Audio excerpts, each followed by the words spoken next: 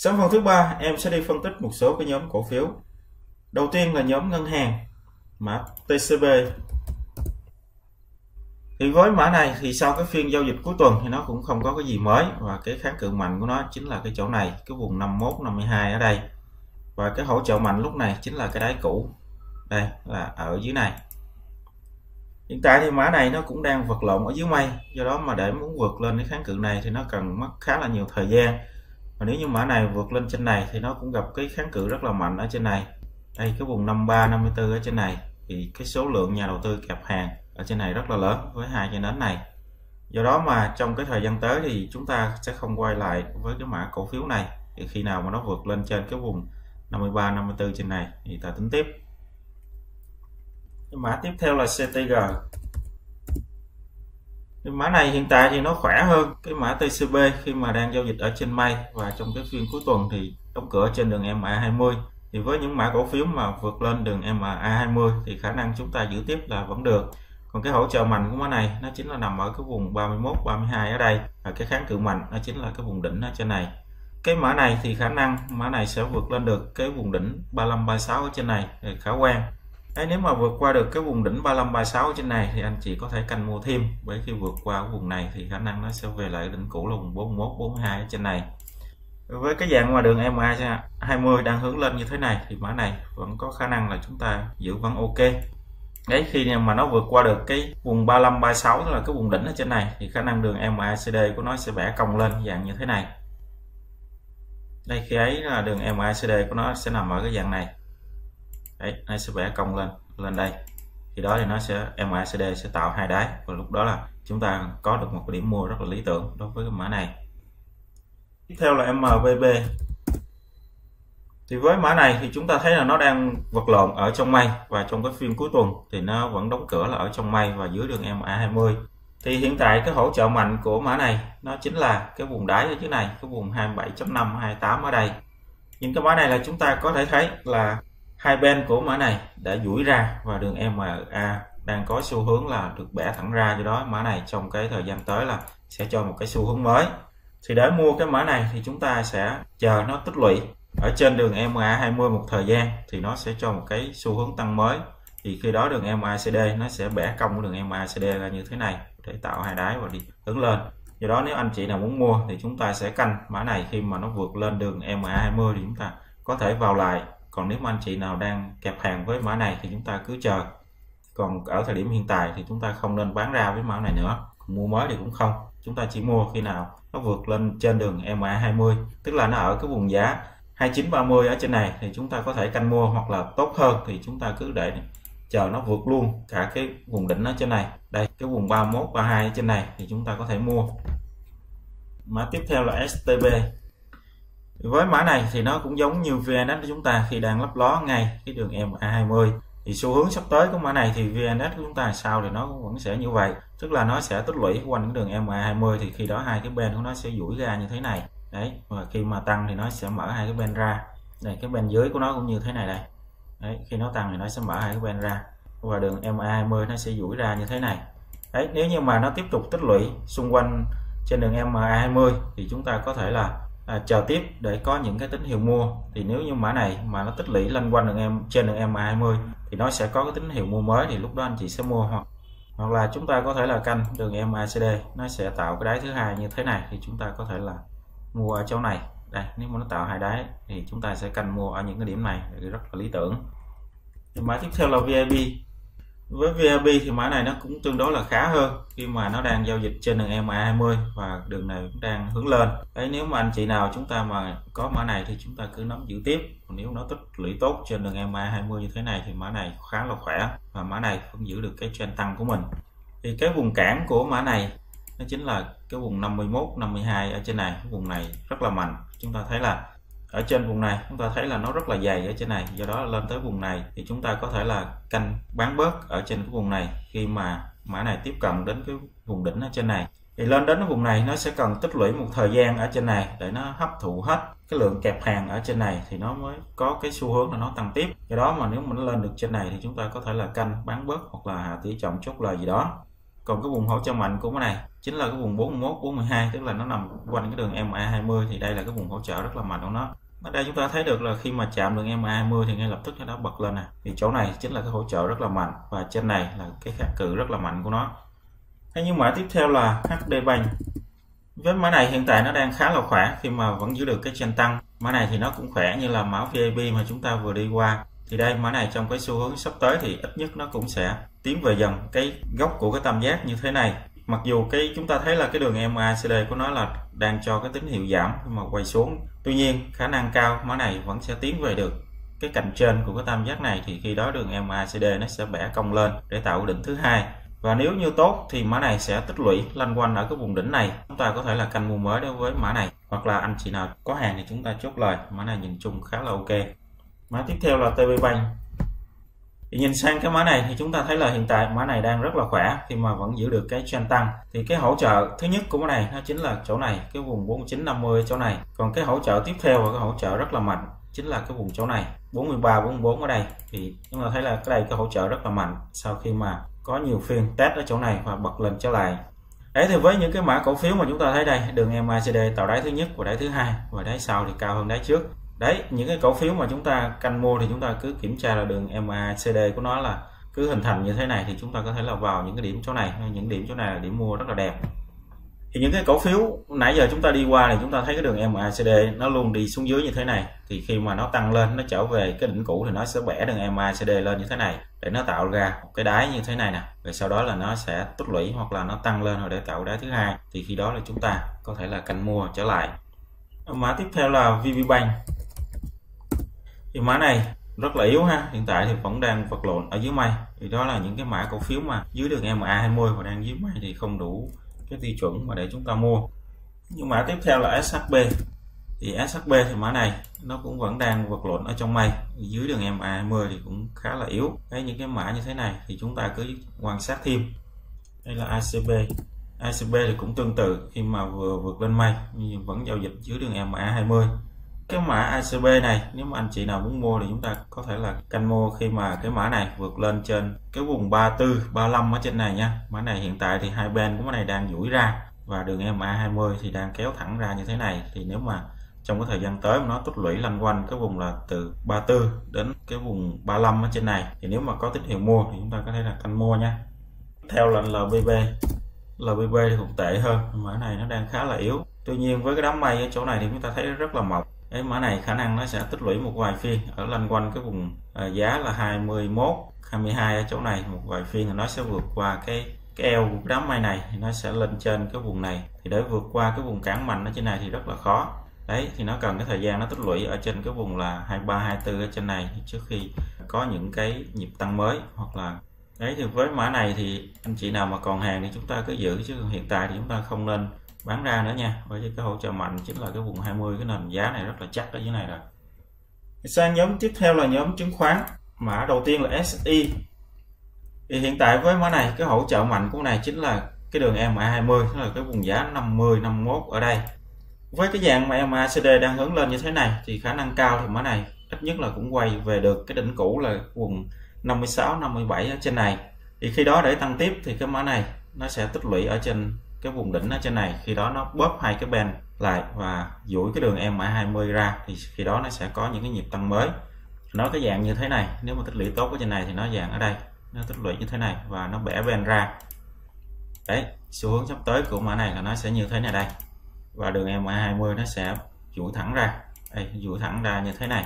Thì sau đó là mã này nó sẽ có những nhịp tăng mới khi mà mã này tích lũy tốt ở trên cái vùng đỉnh thì nó sẽ bẻ cái đường MACD đi lên như thế này để tạo đỉnh thứ hai và hướng lên.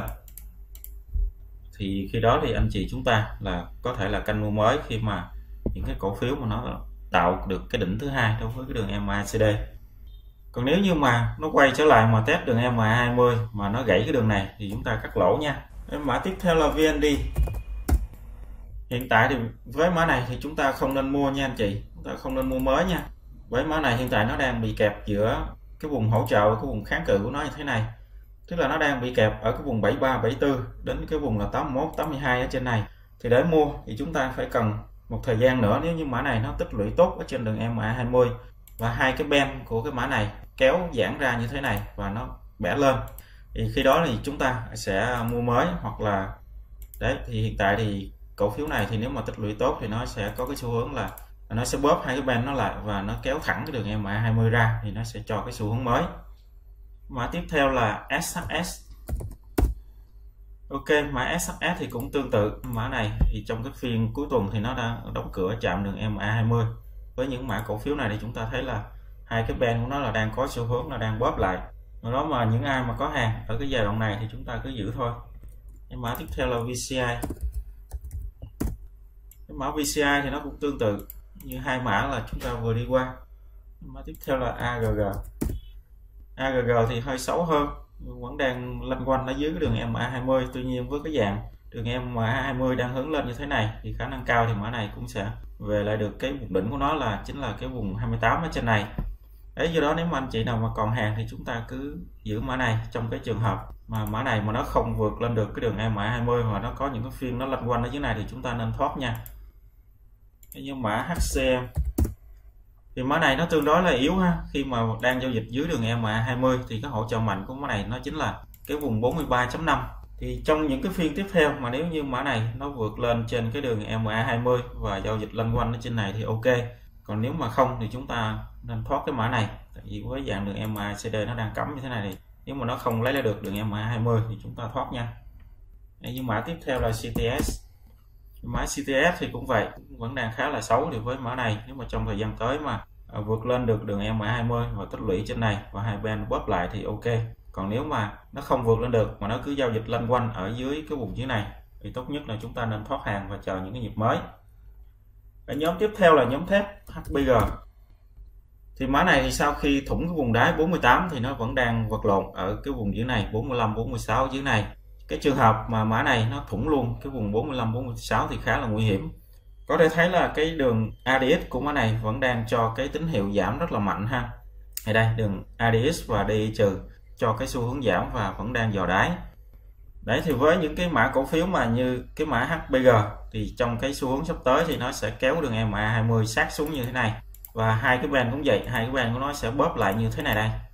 Hai cái bàn nó sẽ bóp lại như thế này thì để có hình thành một cái xu hướng tăng mới thì nó sẽ duỗi hai cái bên này ra. Đấy, nó duỗi hai cái bên này ra.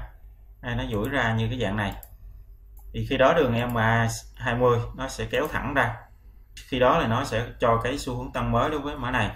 Thì với những mã như là NKG hay là HSG thì những cái mã còn lại như là NKG hay là HSG thì nó cũng tương tự như là mã HBG này đây.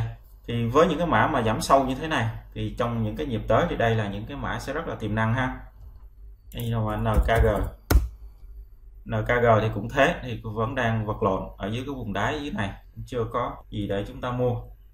Nên là SMC khả năng cao với SMC thì đây chính là cái đáy của nó rồi nè. Đấy, chúng ta thấy là đây là đáy thứ nhất nè. Ở đây là đáy thứ hai nè. Khả năng cao thì mã này ờ, đã có được cái đáy thứ hai dưới đó không? trong cái thời gian tới mà chúng ta quan sát mà thấy cái đường MACD mà nó bẻ lên như thế này thì chúng ta mua nha ấy thì nhìn qua cái nhóm thép thì chúng ta thấy là vẫn chưa có những cái cổ phiếu nào được gọi là tiềm năng hoặc là tích cực để chúng ta có thể là có những cái điểm vào tốt. Để nhóm tiếp theo là nhóm dầu khí mã BVD thì như trong những cái video clip hôm trước em có phân tích thì mã này thì nó cũng khá là khỏe. Thì để ngon á, thì cái mã này nó cần tích lũy trên đường MA20 như thế này trong một vài phiên nữa tức là lăn quanh cái vùng 2930 trên này. Thì để nó bẻ cong cái đường MA20 lên thì khi đó thì ngon còn nếu mà cái dạng mà tích lũy lanh quanh như thế này thì cũng chưa có gì à, rồi là ok khi mà nhưng tích lũy như thế này á, thì cần thời gian khá là lâu ấy. do đó mà nếu mà ai mà có ôm hàng ở cái vùng này thì cũng tương đối là khó nhai đối với mã này á. Hay những mã tiếp theo là BVS thì với cái mã này thì chúng ta nhìn thấy nó tương đối là yếu khi mà đang giao dịch ở dưới mây và đường MA20 thì đang cắm xuống cái điều tích cực là đường MACD của này đã tạo được cái đỉnh thứ nhất rồi này đấy, với mã này, trong cái thời gian tới thì nó sẽ là khi mà nó chui vào mây thì cái, với cái đám mây dày như thế này thì nó sẽ lắc lên, lắc xuống ở trong này khá là lâu để trước khi có thể chui ra. Thì nó, nếu mà nó tích lũy ở trên này một thời gian thì khi đó là nó sẽ kéo hai cái bên này ra và nó sẽ bẻ cong đường EMA 20 lên. Thì khi đó thì những cái tín hiệu mua sẽ được hình thành. Còn trong giai đoạn này, nếu mà anh chị nào mà ôm hàng thì chúng ta cứ tiếp tục ôm. Còn không thì chúng ta có thể là đảo hàng với những mã nào mà chúng ta thấy nó tốt hơn. Đây, mã tiếp theo là mã gas thì mã gas, thì mã này đang rất là yếu. Chúng ta với những mã thế này, không cần quan tâm. Mã tiếp theo là PLX PLX nó cũng vậy. Thì mã này nó vẫn đang giao dịch ở lanh quanh ở trong may và vẫn chưa lấy được đường MA20 mã này tương đối là khá xấu. Và cái vùng hỗ trợ của mã này, đây chính là cái vùng 52 53 ở đây. Đây là vùng hỗ trợ rất là mạnh. Trong cái trường hợp thị trường mà có những cái biến động thì mã này có khả năng nó sẽ kiểm định lại cái vùng đáy dưới này luôn. 49 đây ta thấy là đường MA 20 mã này đang cắm xuống. Còn MACD thì vẫn đang có xu hướng là đi xuống, chưa có tín hiệu gì rồi gọi là tích cực. Nhưng mã PSR với mã này, cái vùng hỗ trợ mạnh của nó chính là cái vùng này. Đây chính là, đây là cái vùng hỗ trợ rất là mạnh. Chúng ta thấy là nó đã có một, hai, ba phiên test lại cái vùng hỗ trợ này thành công. Nếu mà anh chị nào muốn mua mã này thì chúng ta mua ở những cái phiên chỗ này thì rất là ok đấy, thì nếu mà hiện tại thì nó vẫn đang lanh quanh ở trong mây thì khả năng cao thì mã này nó sẽ lắc lên, lắc xuống ở trong mây này. Của nó tích lũy một thời gian ở cái khu vực này, tức là trên đường MA20 thì khi nó bẻ đường MA20 lên á, thì ok, thì mã này nó sẽ cho những cái xu hướng tăng mới. Thì ít nhất là cái vùng đỉnh cũ của nó là cái vùng ở trên này. Thì cái vùng ở trên này nó đang rất là dày.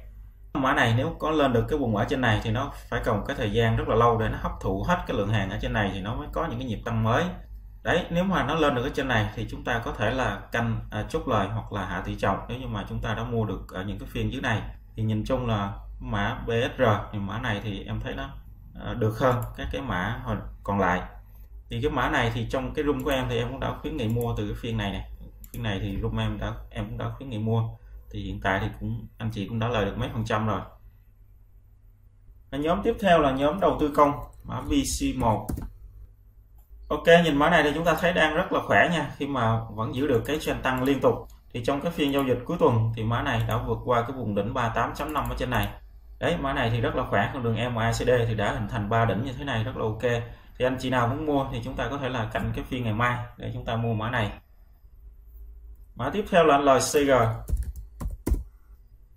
mã này thì rất là khỏe nha anh chị. Nó cũng giống như là à, uh, BC1 thôi nó vẫn giữ được cái trên tăng như thế này thì nếu mà ai có hàng thì chúng ta cứ giữ thôi. Còn cái vùng hỗ trợ mạnh của nó chính là cái vùng ở dưới này 1920 ở đây. Trong trường hợp mã này mà có quay lại test lại cái vùng này, thì anh chị có thể mua mới, nhưng mà với cái dạng đường MA20 và MACD như thế này khả năng nó quay lại nó test cái vùng hỗ trợ này thì rất là khó. Đấy, nếu mà anh chị nào có hàng thì chúng ta cứ tiếp tục giữ, còn mua thì chúng ta có thể là canh mua những cái nhịp hồi lại của nó ở cái vùng 21 ở dưới này thì có thể mua. Tức là mã này nếu mà có cái nhịp hồi lại thì anh chị cứ mua.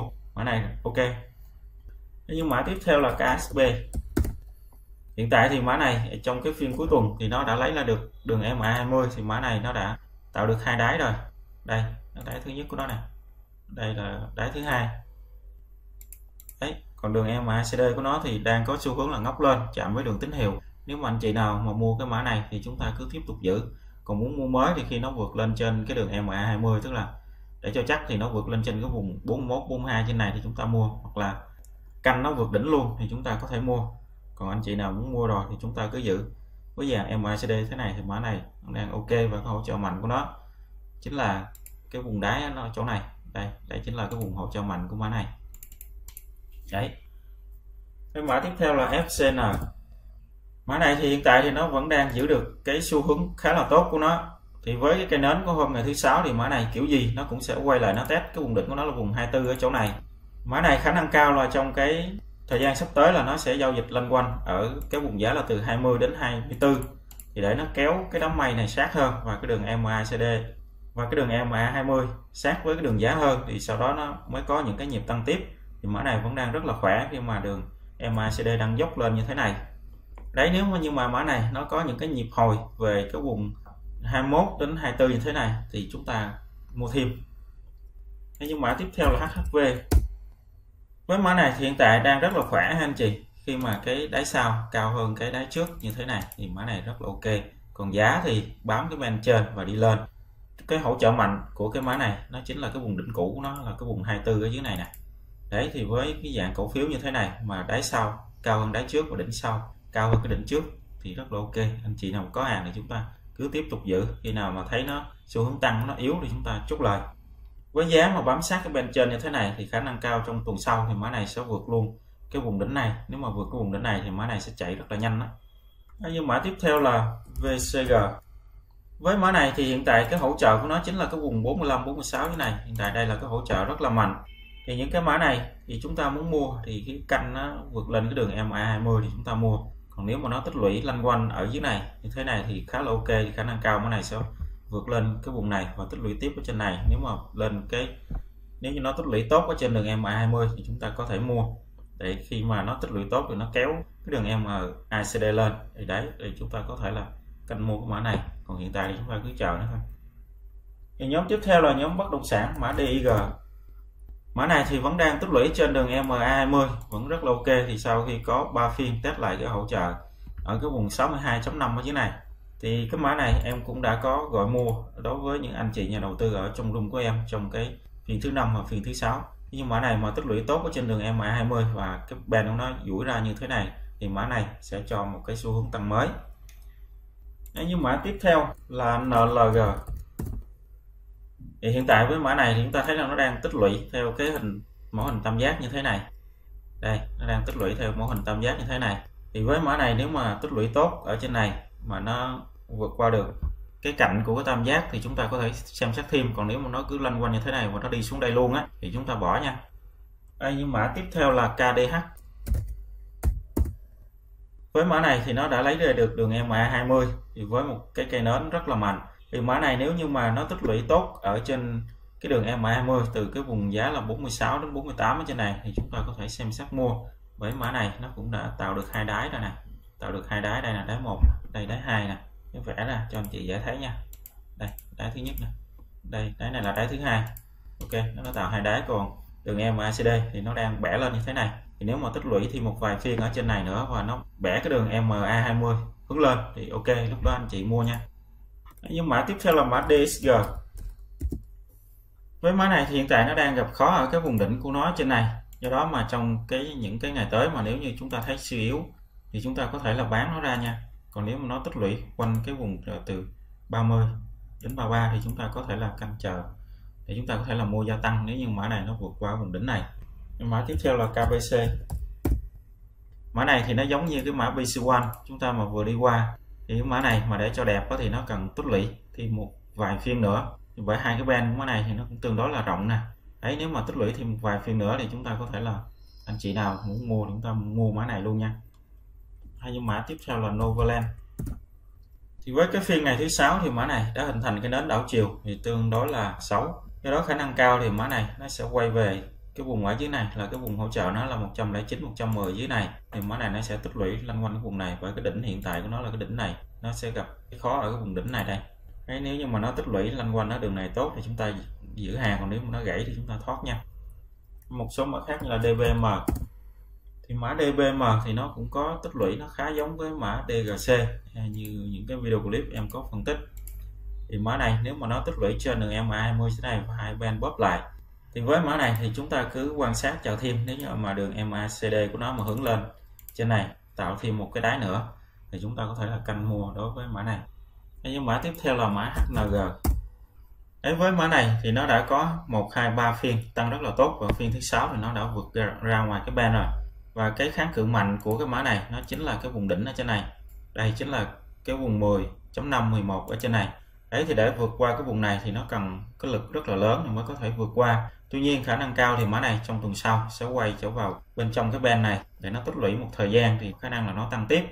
Do đó nếu mà anh chị nào mà chúng ta thấy có lời thì chúng ta có thể là chốt lời trong cái phiên tuần sau rồi để chờ nó tích lũy thì chúng ta có thể mua thêm để cái kháng cự cái vùng trên 10 và 11 trên này là một cái vùng cản rất là mạnh đối với cái mã này. Mã tiếp theo là BCM ấy, thì cái mã này chúng ta thấy là cái kháng cự rất mạnh, nó là nằm ở trên cái vùng 55 ở trên này. Và mã này mà nếu tích lũy thành công ở trên cái đường MA20 tức là 53 54 ở trên này thì rất là ok.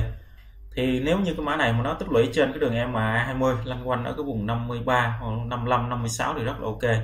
Còn nếu như mà mã này mà nó tăng một mạch từ cái bên dưới lên bên trên kiểu gì nó cũng sẽ quay trở về, nó kiểm định lại cái bên dưới.